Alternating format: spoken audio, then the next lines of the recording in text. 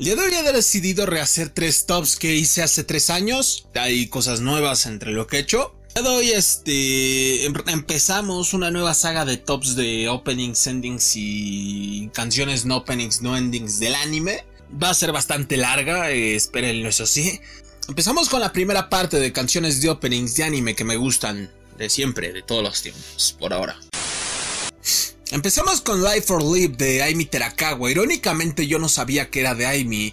Eh, yo la escuché hace muchísimo tiempo, incluso cuando hice la primera lista fue agregada a Life for Live de Bento. Eh, yo no sabía que era de Aimi Terakawa, ya después me enteré, irónicamente.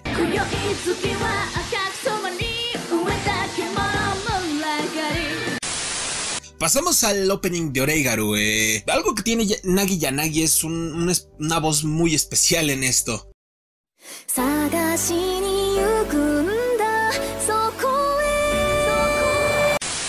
Hokawa no Pleiades, otro opening que la verdad es que es bastante extraño. Eh, Stellarium es, es un tema que normalmente no, en el que no me fijo tanto, pero me gusta, no, no me desagrada.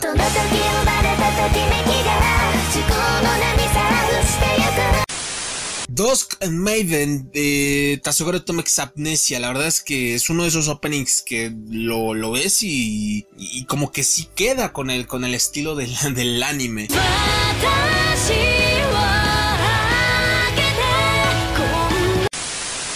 De Gekan Shoujo no Saki-kun, irónicamente yo no lo escuché por la versión original de OXT, sino por la versión de Popping Party. Eh, sabía que me sonaba, eh, no recordaba dónde, pero sabía que me sonaba y luego ya vi este, el anime y fue, con- fue cuando recordé de dónde venía, porque ya anteriormente lo había escuchado.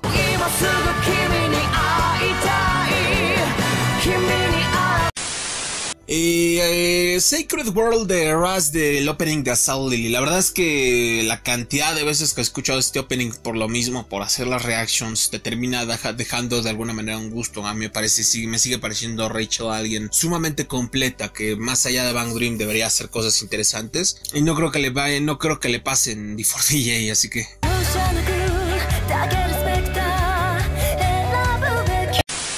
El opening de la película de Kimi no Nawa, yo creo que ya todos sabemos, eh, Kimi no Nawa tuvo una, un, un sonido ambiental, un OST y canciones sumamente interesantes.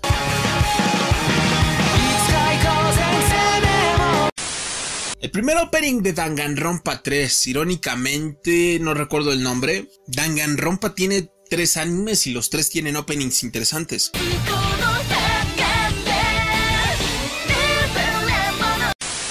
Eh, también Brave You Well de Roselia no podía faltar. El tema de Roselia que también, este, digamos que de alguna manera buleó a Ivaina, ¿no?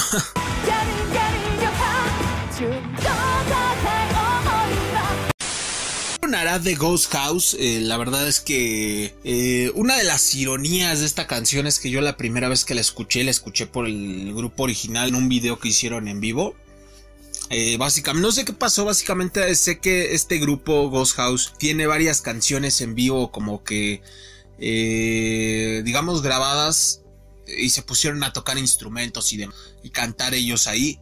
Irónicamente, primera vez que lo escuché, eh, Ghost House, ese, ese tema, ¿no? Eh, yo no sabía que era opening de, de, de Shigatsu wa Kimi no Uso y después sale el anime y me entero de que era el an- de que era opening.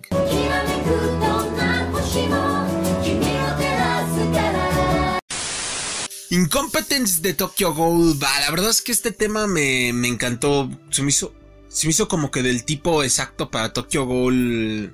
Para el tipo de temas que suele tener Tokyo Gold.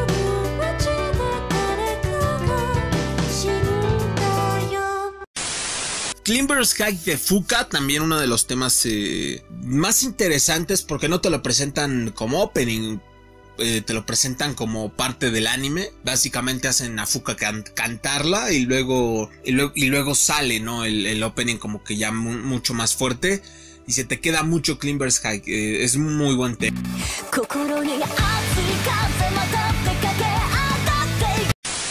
Eh, My Dara es de Will the Crown. Will the Crown es irónicamente uno de los animes que menos tienen que ver con música, que más musicalmente tuvo impacto. O sea, tanto opening, tanto ST y tanto ending son sumamente interesantes y normalmente no faltan. So everything that makes me whole, ya hasta acá la primera parte de openings, eh, que, de canciones de openings que me gustan. Van, van a ser como unas 4 o 5 partes porque esta vez sí son bastantes. Eh, se han ido agregando con el paso de los años, se han ido desapareciendo algunas también. Eh, cosas interesantes. Y como siempre, si te ha gustado el video, dale like, suscribirte para más videos. Yo soy Yarik y me largo ahora mismo.